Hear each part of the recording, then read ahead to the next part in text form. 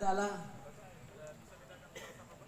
pistol, senapan, tak daripada pihak keamanan bahwa kami ini musuh. Tembak.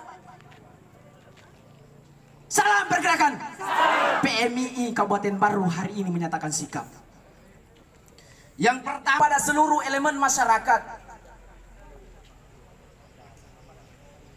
dan semua kalangan ada agar dan mengecam seluruh tindakan provokatif. Kemudian yang kedua sahabat-sahabatku